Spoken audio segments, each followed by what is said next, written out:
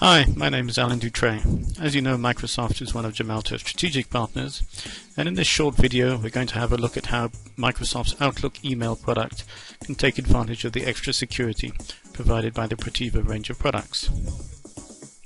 Before we dive into the demonstration, let's have a quick look at the Protiva range of strong authentication products.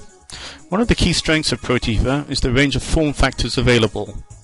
In the first row you can see the .NET card, either in its standard edition or with biometric functionality added, which is called the .NET Bio. Whenever there is a card, there is a reader, and at the bottom of the screen we can see a selection of readers, whether they be PCMCIA reader for a laptop, a reader for a card of SIM size uh, plug-in, or a standard USB connected external reader. Finally, we have a couple of tokens which contain .NET cards.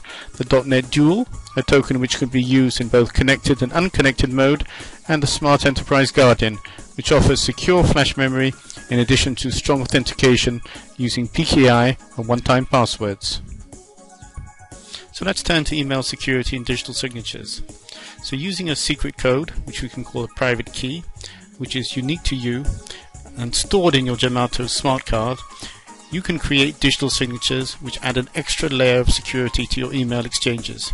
Every time you sign a mail with your smart card, you'll type your PIN code, thus fulfilling the basic requirements of two-factor authentication.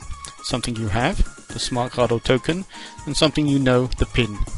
Furthermore, your secret code or private key can even be generated by the Gemalto smart card token or token itself, meaning that it'll never be exposed to the outside world where it may be maliciously copied.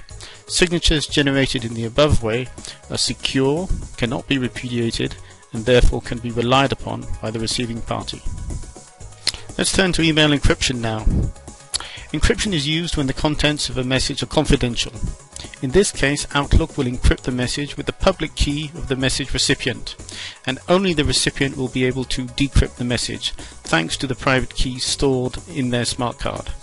Again, before the uh, user is able to access their private key, they will have to type their PIN code. So the value added of the smart card is to store the decryption key in an absolutely secure environment. So let's have a look at our uh, digital signature scenario now. First of all, we're going to configure Outlook to be able to digitally sign an email. There we click the box, click on OK, and then we're going to create a, a new email. We're going to call it uh, signed mail.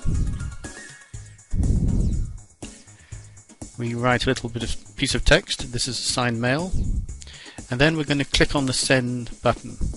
At this point, Outlook knows that uh, a smart card needs to be inserted. Click on OK, and then type the PIN for the smart card click on OK and the mail has signed, is gone and now has arrived in the uh, inbox. Now we can check the signature. There we are. Check the signature is valid. Get more details about the signature if needed, including the chain of trust. And there we are. We've closed uh, the email. Now we're going to do a similar thing with uh, encrypted email. So we've clicked on the encrypted box. We're going to create a, a new email again. This time uh, we're going to call it uh, encrypted mail. There we go. This is an encrypted mail is our little piece of text. And we click on send again. And this time, the mail is going to be encrypted with the public key of the recipient. So there it's arrived in the recipient's um, inbox, and he's going to uh, decrypt it thanks to the uh, smart card uh, which he's now putting in his reader. Clicks on OK and types in the PIN. And there we are, the mail is decrypted.